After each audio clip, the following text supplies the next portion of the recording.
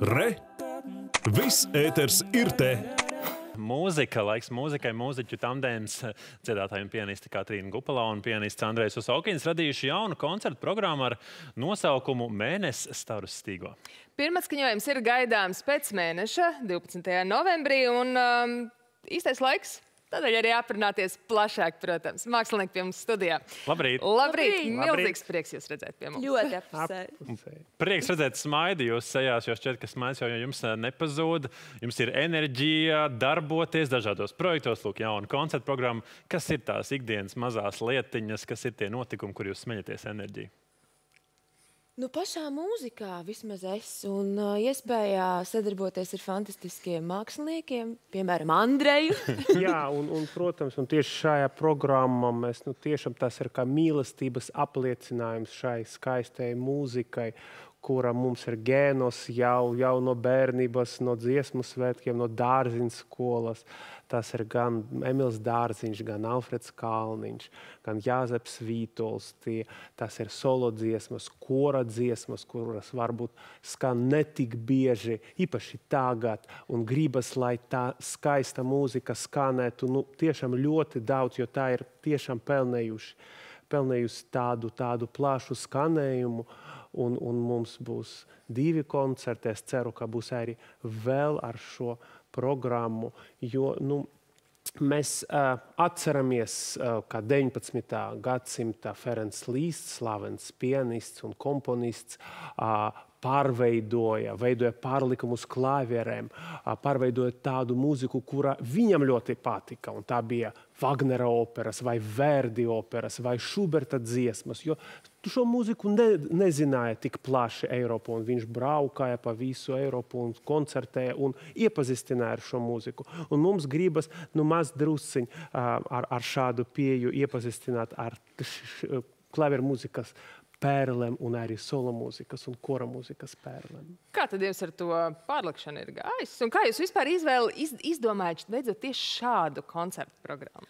Nu, tas notika noteikti ar ļoti lielu pietāti nu, 99,9% pietātes un mazu, mazu procentu bezskaunības un oriģinālitātes. Nu, var teikt, oriģinālitātes tas ir labāk, jo tā ir mūzika, nu, tā ir mūsu zelta klasika un aiztikt kaut ko tādu vai tā kā baltos cimdiņos un ļoti uzmanīgi, bet, protams, mēs negribējām zaudēt mūsu pašu, uh, nezinu, skatījumu uz to un ielikt arī sevi visās, visās dziesmās, kuras mēs veidojam. Protams, īpaši interesanti ir ar kora dziesmām. Un jo... arī programmas nosaukums mēnesis starostīgo no slavenas dārziņa kora dziesmas. Jā, un arī būs tautas dziesmas latviešu. Tās būs pavisam tādās jāstrās manās oranžijās. Un būs arī klavieru mūzika, kur izpildīs Andrejs. Jā, būs mēs... arī maz drusciņu mūsdienu mūzika, piemēram, Raimonda Tigula skaņdarbs vai Petera Vaska skaņdarbs. Kuru Jura... es spēlēšu, nevis jā. Andrejs. Un Jura Kalnciema prelūdija.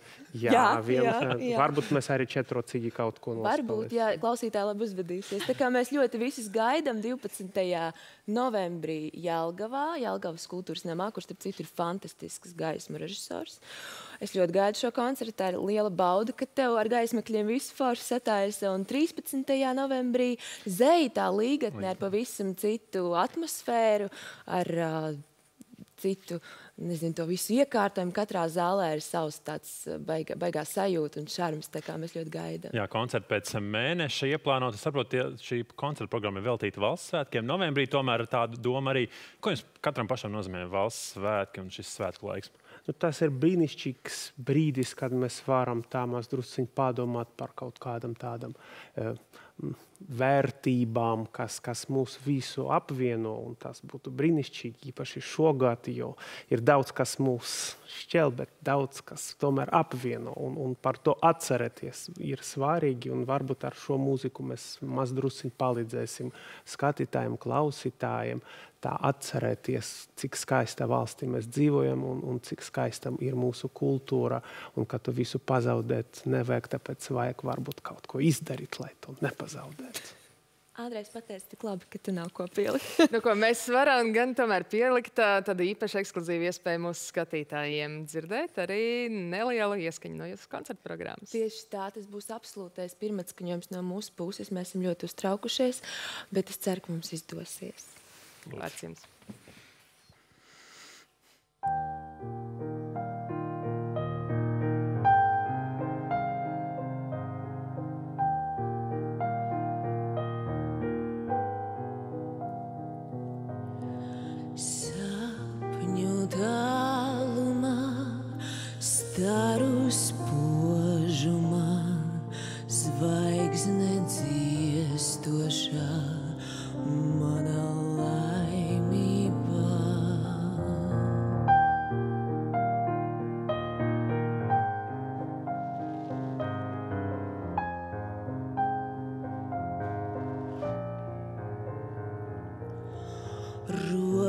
Es izstiebju, gaužos pielūdzu, atsaukt neizspēju to, ko zaudēju.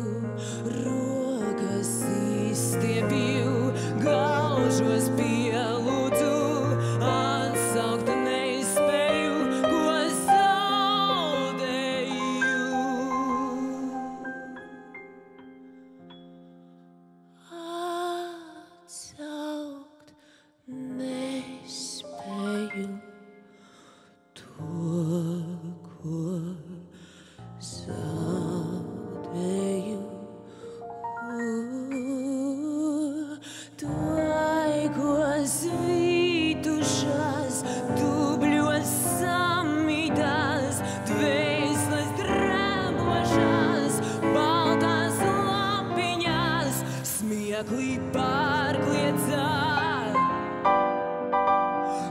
bugs sneeze.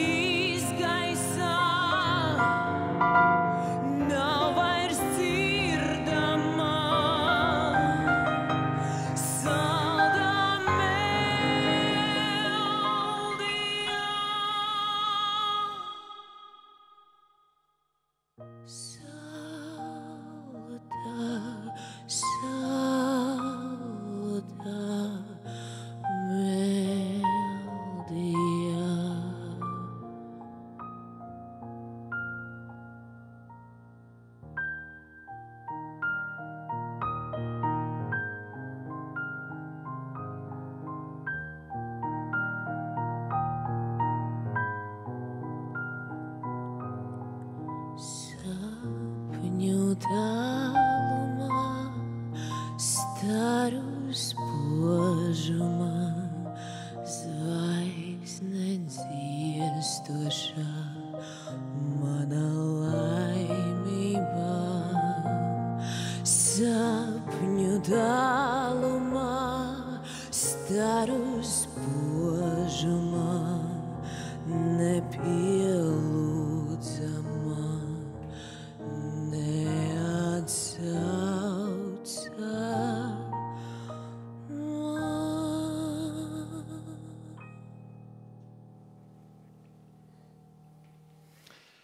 Brīnišķīgi, brīnišķīgs sapņu tālumā izpildījums. Satraukumu nevarēja just, teiksim, godīgi.